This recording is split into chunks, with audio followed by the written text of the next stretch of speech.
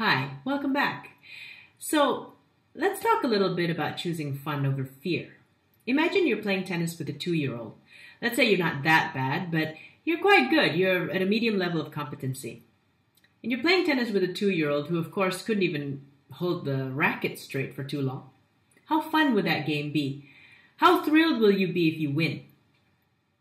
Versus, let's say if you're playing tennis with someone a little bit above your competency.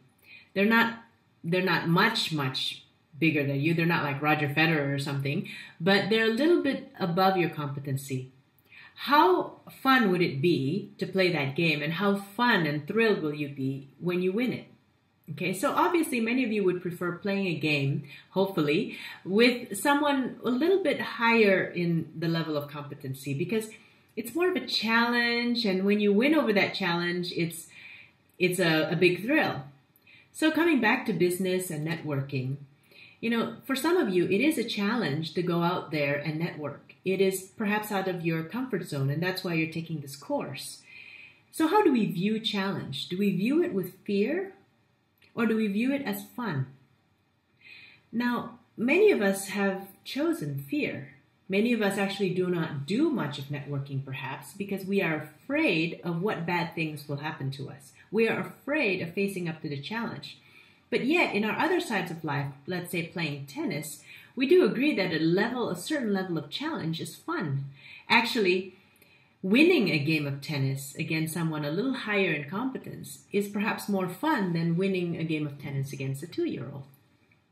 So, going back to the concept of challenge, how do we choose to see it from now on? Now, I, I choose to see business as a game strategies as a game.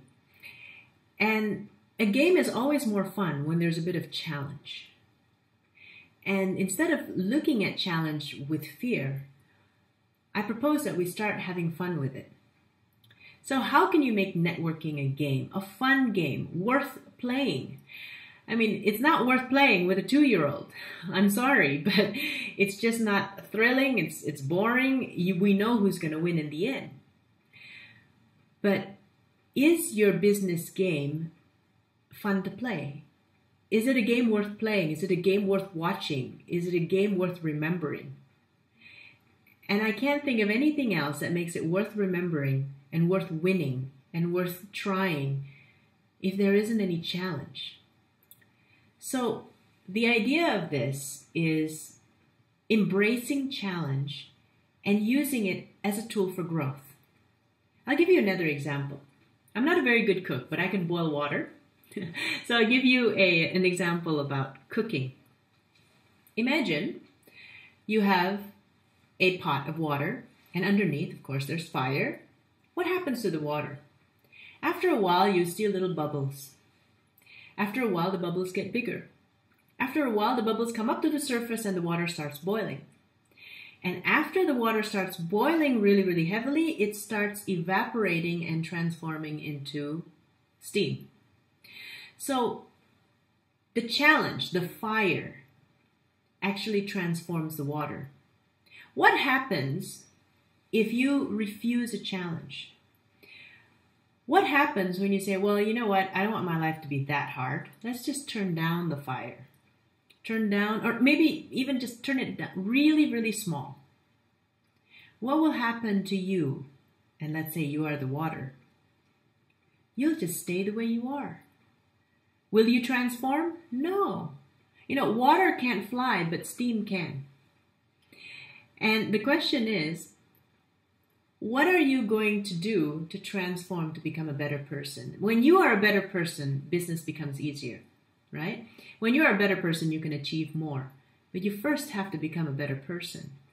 So I invite you to look at challenges not as something to be afraid of, but as a tool for transformation to go to your next level, to, to turn from water into steam, something that can fly higher, that is already transformed.